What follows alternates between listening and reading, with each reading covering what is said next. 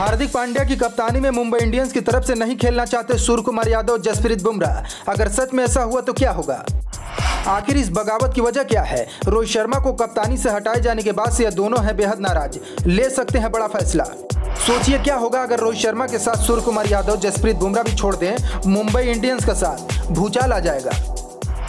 Mumbai Indians का दांव उन्हीं पर उल्टा पड़ गया है। जब से मुंबई इंडियंस ने हार्दिक पांड्या को अपनी टीम का कप्तान बनाने का ऐलान किया है, तभी से टीम के अंदर बगावत शुरू हो गई है। फ्रेंचाइजी के इस फैसले से कई खिलाड़ी बेहद नाराज़ हैं। वे हार्दिक पांड्या की कप्तानी में मुंबई इंडियंस के साथ नहीं खेलना चाहते हैं। एक वक्त के लिए जरा सोच कर देखिए, अगर रोहित शर्मा के साथ सूर्य कुमार यादव, जसप्रीत बुमराह भी मुंबई इंडियंस का साथ छोड़ देते हैं तो फिर क्या होगा? मुंबई इंडियंस पूरी तरह से खत्म हो जाएगी। जसप्रीत बुमराह सूर्या और रोहित शर्मा के अलावा मुंबई इंडियंस में आखिर है ही कौन? यह तीनों खिलाड़ी ही मुंबई इंडियंस की जान है। मुंबई इंडियंस को अपने फैसले पर विचार करना पड़ेगा। आईपीएल 2024 में अभी तीन महीने का वक्त है। कहीं ऐसा न हो कि यह बगावत मुंबई इंडियंस के लिए भारी पड़ जाए। टीम में अगर संयम नहीं बना रहेगा तो टीम कभी अच्छा प्रदर्शन नहीं कर पाएगी। आखिर मुंबई इंडियंस के अंदर यह बगावत क्यों शुरू हुई है? चलिए बताते हैं।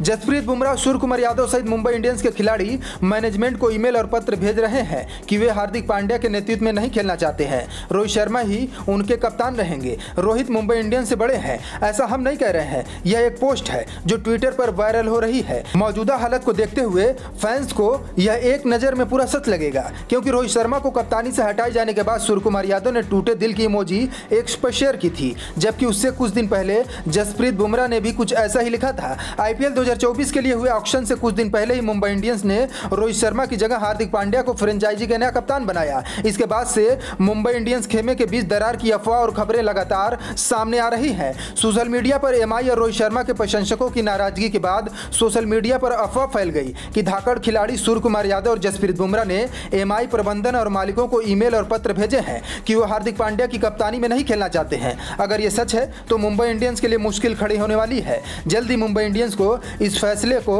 बदलना पड़ेगा। या तो सूर्य कुमार यादव, जसप्रीत बुमराह को मनाया जाए, या फिर हार्दिक पांड्या को कप्तानी से हटाया जाए। इसके अलावा मुंबई इंडियंस के पास दूसरा कोई और विकल्प नहीं बचता है। जरा सोच कर देखिए, अगर रोहित शर्मा के साथ सूर्य कुमार यादव और जसप्रीत बुमराह किसी और टीम के साथ चले जाते हैं तो मुंबई इंडियंस का क्या होगा? मुंबई इंडियंस पूरी तरह से खत्म हो जाएगी, बर्बाद हो जाएगी। अब इन अफवाहों में कितनी सच्चाई है, ये तो आने वाला वक्त बताएगा। लेकिन फ़िलहाल ट्रेड विंडो का सिस्टम खुल चुका है। कोई भी खिलाड़ी दूसरी टीम से संपर्क नहीं कर सकता है। अगर टीम अदला बदली पर सहमत हो जाती है तो एक टीम का खिलाड़ी दूसरी टीम में जा सकता है। ऐसे में हमें नहीं लगता कि मुंबई इंडियंस अपने तीनों खिलाड़ियों को किसी और फ्रेंचाइजी के पास जाने देगी। आईपीएल में अभी तीन महीने का वक्त बचा है। ऐसे में देखना बड़ा दिलचस्प होगा कि मुंबई इंडियंस अपने टीम में संयम बना पाती है या नहीं।